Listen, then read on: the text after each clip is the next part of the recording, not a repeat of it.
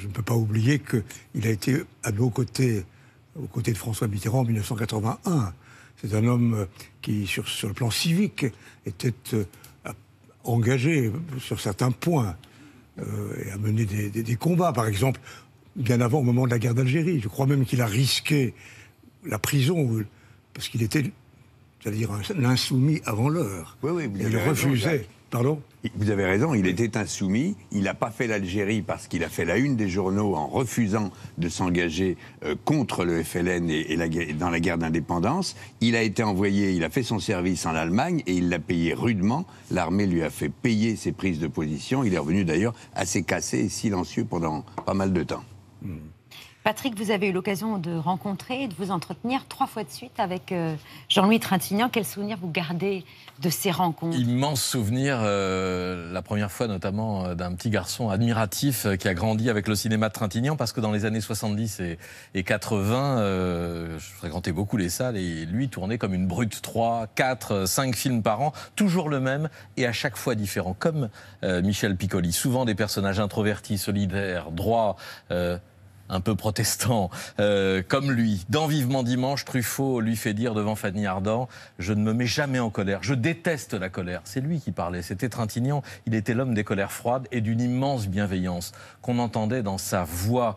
Il avait. Euh, la voix la plus belle du cinéma français, une voix euh, timbrée, chaude, caressante, mais qui peut être cassante, une voix de taiseux avec un phrasé impeccable et un reste ou une pointe d'accent du midi. Trintignant était un timide, il portait des masques comme tous les grands acteurs. Souvenir d'Enki Bilal qui vient de lui proposer de tourner Bunker Palace Hotel. Il vient le voir dans le Gard, Monsieur Trintignant, euh, il faudra que vous vous rasiez le crâne pour le rôle. Réponse de Trintignant avec son, son grand sourire gourmand. J'en rêve depuis que je suis enfant, depuis que je suis tout petit. Incroyable humilité de, de Trintignant à mon micro à France Inter. Question, quand êtes-vous devenu un bon acteur? Réponse, je ne le suis pas encore devenu, mais ça va venir. Je vais devenir un bon acteur. Il avait 80 ans à ce moment-là. Je lui parle de tous ces films qui ont tout ébloui l'adolescent que j'étais. On les a euh, un peu oubliés aujourd'hui quand il se, se métamorphosait dans chacun de ses rôles. L'inspecteur Carella dans Son mobile apparent de, de Labro, Émile Buisson dans Flick Story de Deray parce qu'il a joué aussi des fous et, des méchants, un ambitieux manipulé par Jean-Pierre Cassel dans Le mouton enragé de Michel Deville, un banquier grugé par euh, Claude Brasseur dans L'argent des autres de, de Challonge. Presque à chaque fois, il m'arrête hors micro pour me dire c'est bien ça, euh, ce dont vous parlez? Bah, bah, oui, je lui dis c'est un bon film. Je l'ai pas vu parce que j'avais pas le temps de les voir. C'était l'époque où Trintignant enchaînait les tournages. Il s'arrêtait de tourner un film le samedi, puis il en reprenait un autre le dimanche. Trintignant euh, disait qu'il n'avait pas d'ambition de carrière, sauf de faire quelques bons films au milieu de tout ce qu'on lui proposait. On lui en a proposé beaucoup. Et puis à la fin de l'interview, euh, je me souviens qu'il m'avait livré le secret de la fascination qu'il pouvait exercer, mais il l'avait mis dans la bouche d'un journaliste qui lui avait dit ça, qui lui avait dit Quand j'avais 16 ans, vous étiez mon idole. Alors pourquoi vous Parce que Delon était trop beau, parce que Belmondo était trop sportif, alors c'était vous. Oh.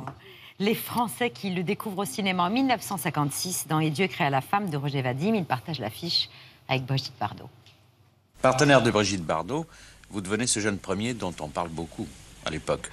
Ça me faisait pas plaisir du tout, mais pas du tout, je vous assure, j'ai mis aucune complaisance là-dedans. Euh, je vous assure qu'il n'y a eu jamais une photo de nous qui a été prise comme ça. Euh, les photos qui ont paru étaient des photos du film. Mais jamais, je veux dire, euh, on s'est prêté à, à, cette, à ce scandale, enfin, ou tout au moins à cette publicité-là. Jamais, je vous le jure. La presse a parlé beaucoup de Trintignant à ce moment-là. Bah, je ne méritais pas. Pourquoi vous ne méritiez pas Parce que j'étais pas bon dans le film. Et alors pourquoi la presse a parlé de vous? Bah, je sais pas. Pour des mauvaises raisons, certainement. Il avait même confié au micro de France Inter Je ne suis pas un acteur brillant. Pierre, on a longtemps vu Jean-Louis Trintignant comme le Paul Newman français. Est-ce que la comparaison vous paraît juste? Il bah, faudrait la, nuancer, sinon qu'ils sont très très beaux tous les deux et que les yeux bleus de, Paul Newman ont plus souvent euh, souri. Mais c'est bouleversant, en tout cas, tout ce que la beauté euh, du visage de Trintignant a pu exprimer euh, sobrement. Euh, il n'avait pas besoin d'en faire beaucoup pour interpréter des rôles de personnages qu'on déteste et qui étaient à l'opposé de lui, comme le petit juge, évidemment, dans Z. Il n'aimait pas, disait-il, les rôles d'épates. Jean-Luc Drouin, dans Le Monde, cite cette jolie phrase de Jean-Louis, être une page blanche partir de rien, du silence. Dès lors, on n'a pas besoin de faire beaucoup de bruit pour être très écouté. Bernardo Bertolucci ne pouvait pas trouver plus fantastique visage, impénétrable et profond, beau et mystérieux pour son conformiste. Il y a deux façons de se comporter dans la société. C'est-à-dire, c'est euh, la première, être conformiste, c'est la majorité des gens. Et la deuxième, être révolutionnaire, être euh, contestataire, pour dire un mot à la mode. Et euh, être conformiste, c'est-à-dire, c'est accepter d'entrer dans la société. Et pour entrer dans la société, il faut payer. Il faut payer de sa liberté, il faut payer de, de choses auxquelles on avait rêvé et renoncer à cela. Là, c'est un cas extrême, puisque payer, c'est tuer un autre homme. Je pense que sur ce plan-là, c'est un film très moderne et très politique, très engagé. Et je pense que euh, tous les artistes doivent être des gens engagés, autrement c'est pas la peine, ça n'a pas de sens.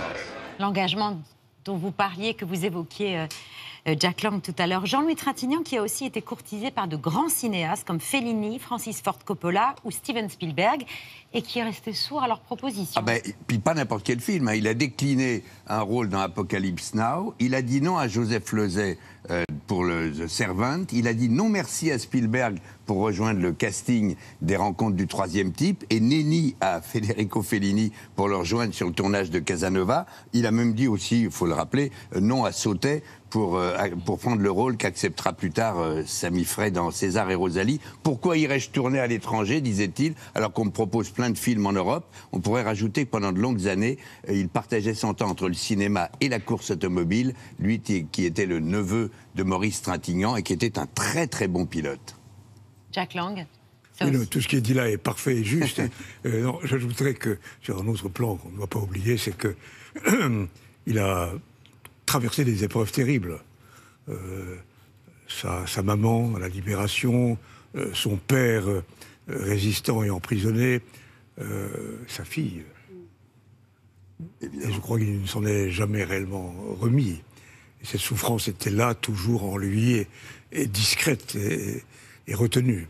Mais néanmoins, euh, des épreuves euh, fortes et indélébiles. Oui, car c'était un homme qui plaçait sa famille au cœur de sa vie, de son métier. Écoutez-le. Je pense que la chose euh, importante pour un acteur, c'est- c'est sa nourriture intérieure.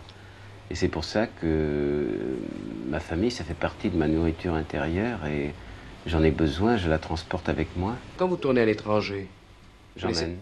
Vous laissez votre femme? Non, non, non, j'emmène. et les enfants Vous savez, Non, je- j'emmène aussi les enfants. C'est très important, c'est très important pour moi, c'est très important pour euh, mon enfant aussi, c'est très important pour ma femme.